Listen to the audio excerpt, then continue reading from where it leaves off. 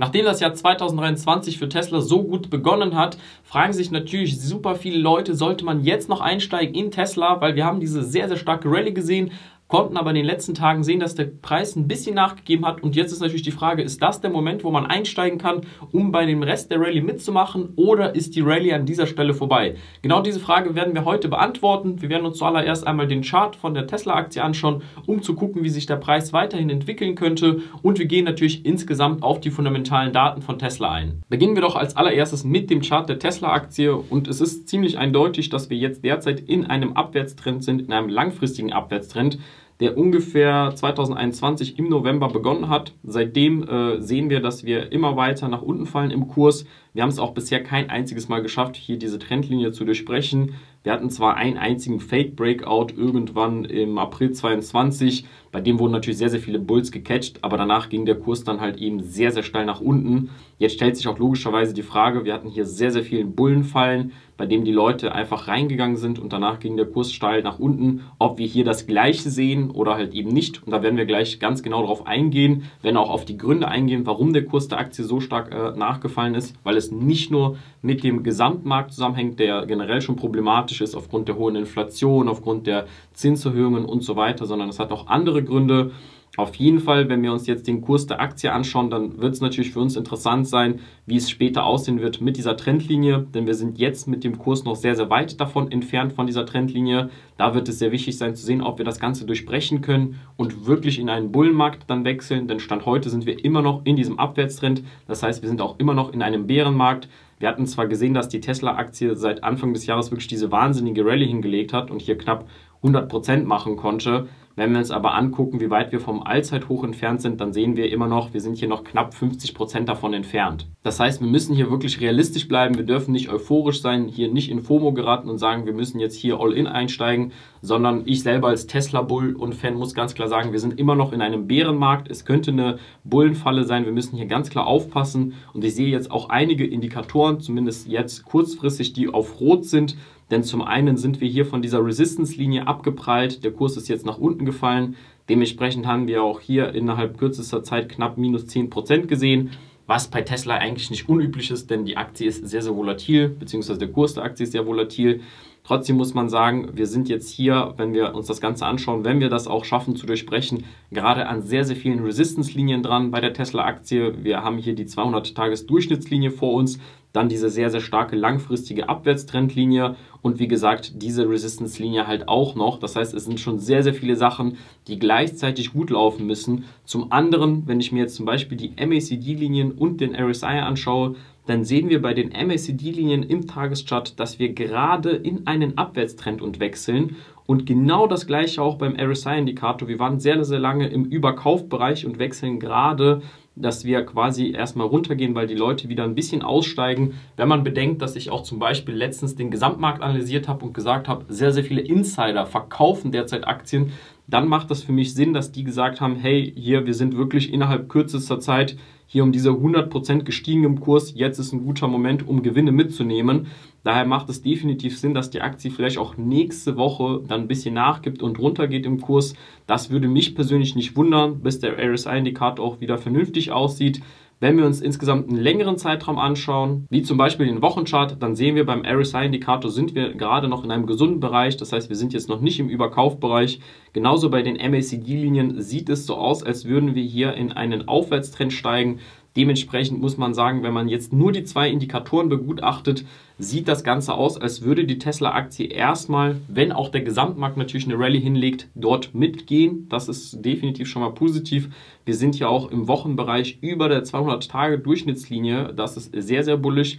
Das darf man auch nicht vergessen. Was aber für mich jetzt auch im Wochenchart vielleicht auch für die nächste Woche oder die nächsten Tage eher bärisch ist, wenn wir uns hier einmal anschauen, ähm, wie der Kurs sich entwickelt hat von der Tesla-Aktie, dann sehen wir hier eher ein bärisches äh, Zeichen und zwar hier diese Candle. Ich weiß nicht, ob der eine oder andere sich von euch mit Candle äh, Stick Patterns auskennt, also mit den Mustern. Dann sehen wir hier zum Beispiel so ein Inverted Hammer, dass der so umgekehrt ist und wenn man sich das mal anschaut, dann sehen wir, dass das das am wenigsten bullische Zeichen ist, was für mich einfach damit zusammenhängt, die Aktie ist innerhalb kurzer Zeit so stark gestiegen, dass das irgendwann ja wirklich nachgeben musste. Dementsprechend wird der Kurs vielleicht nächste Woche auch nochmal nachgeben.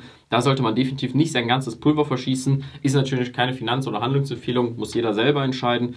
Trotzdem muss man ganz klar sagen, sieht es auf dem Wochenchart gar nicht so schlecht aus für Tesla. Die Frage, die wir uns aber jetzt stellen, wenn wir uns das Ganze angucken, ist natürlich, warum ist der äh, Kurs der Tesla-Aktie in letzter Zeit so stark abgefallen oder so stark nach unten gegangen, wenn es jetzt nicht nur mit dem Gesamtmarkt zusammenhängt.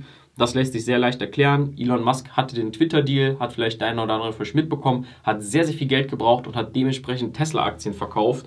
Und wenn wir uns jetzt mal anschauen, wann er die verkauft hat, dann hat er wirklich den Markt extrem gut getimt. Also bei diesen roten Pfeilen ist der Moment, wo Tesla-Aktien äh, abgestoßen wurden von Elon Musk. Und hier sehen wir, jedes Mal, wenn er verkauft hat, ist der Kurs der Aktie wirklich extrem eingebrochen, was schon sehr, sehr heftig ist.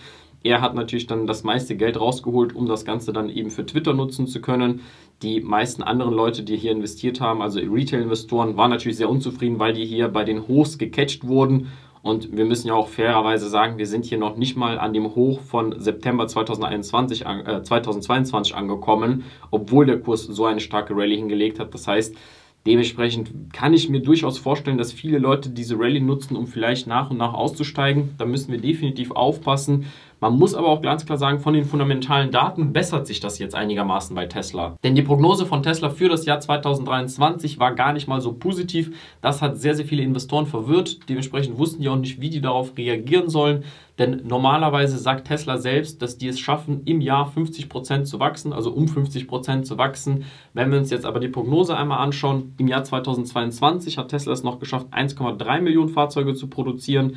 Jetzt äh, haben die eine Prognose abgegeben, im Jahr 2023 nur 1,8 Millionen Fahrzeuge zu produzieren, was deutlich weniger ist als 50% Wachstum. Wobei ich an der Stelle sagen muss, dass ich das gar nicht so verkehrt finde, dass Elon Musk und das Management das so ein bisschen sandbaggen und sagen, hey, wir geben hier eine geringere Prognose ab und wenn wir es jetzt trotzdem schaffen, hier 2 Millionen Fahrzeuge zu produzieren, was 50% Wachstum entspricht, dann werden natürlich die Erwartungen der Analysten noch mehr erfüllt werden, die werden noch positiver sein, auch die ganzen Investoren, weil die ja gar nicht damit rechnen, die sind eher etwas negativer eingestellt und dann wird natürlich der Kurs der Aktie deutlich profitieren. Zum anderen hatten wir noch äh, vor allem im letzten Jahr das Thema mit den Margen, denn die meisten Investoren feiern Tesla aufgrund der Bruttomargen und der Nettomargen. Die Margen sind einfach die höchsten im gesamten Automobilbereich. Dafür ist Tesla bekannt. Deswegen nennt man auch Tesla die Cash Cow. Und wenn wir uns das Ganze hier einmal anschauen, dann hatte Tesla tatsächlich eine Weile Angst, weil einfach im E-Auto-Bereich so ein bisschen äh, der Marktanteil vielleicht verloren gegangen wäre. Man hat gemerkt, dass dort sehr, sehr viele Konkurrenten auf einmal mit drin sind. Aber wenn wir uns das hier mal anschauen, was die Margen angeht, dann sehen wir natürlich, Tesla hat hier deutlich die besten Margen im Vergleich zu den anderen Autoherstellern. Also da sind die Welten von entfernt. Das Problem aber, was wir jetzt hier hatten, ist, dass Tesla sich letztes Jahr dazu entschieden hat, die Preise von den Fahrzeugen zu reduzieren, obwohl die meisten Leute gedacht haben, dass Tesla extreme Preismacht hat hat an den Markt.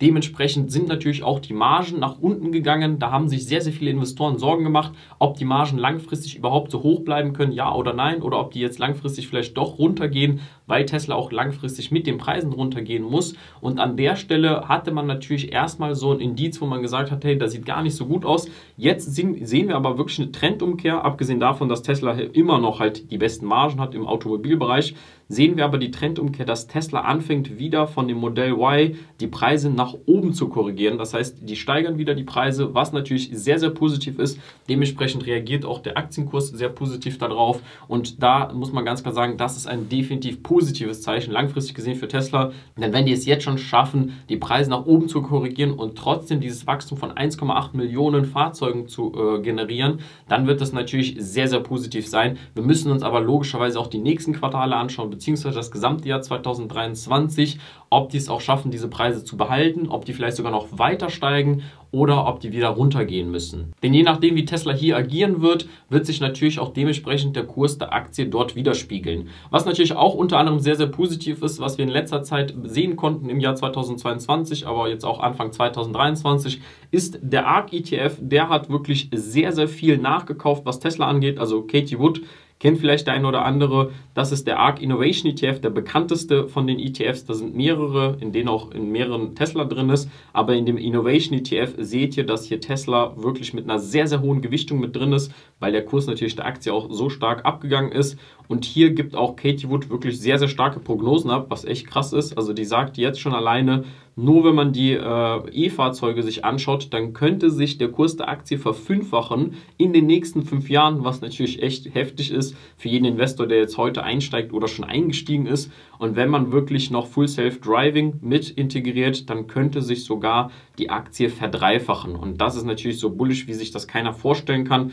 Das wird sehr, sehr interessant sein, ob das Ganze dann so aufgehen wird oder nicht aufgehen wird. Du kannst mir aber auf jeden Fall wie immer unten in die Kommentare mal deine Meinung reinschreiben. Bist du in Tesla investiert? Findest du Tesla ein gutes Unternehmen, eine gute Aktie, um dort einzusteigen oder eben nicht? Schreib deine Meinung da rein und wir sehen uns wieder im nächsten Video.